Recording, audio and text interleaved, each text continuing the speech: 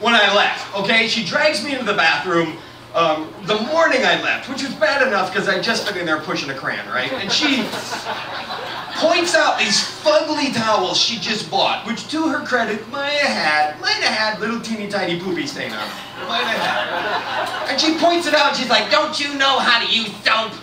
And I never took a class on the subject, but over the years, I think I have mastered the bathing process. And I consider toweling to be part of it, to pick up anything I might have missed in the shower. And clearly that's true by that shit stain on her precious fucking towels.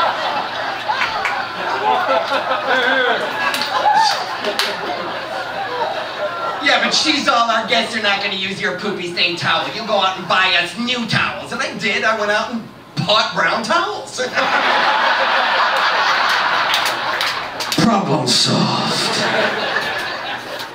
The night before. I'm, well, I'm sleeping, right? I'm having this beautiful dream about not being married, right? And she's laying next to me wearing this ratty shit. I mean, the minute I said I do, all that sexy shit she used to wear when we were dating went out the fucking window. And out of some hidden box came ratty jeans, holy t-shirts, panties up the fucking ear.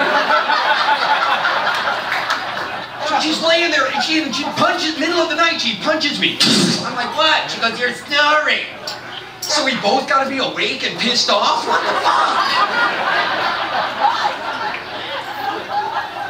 She's been mad at me for months, ever since she caught me masturbating wearing her good dress. Whatever.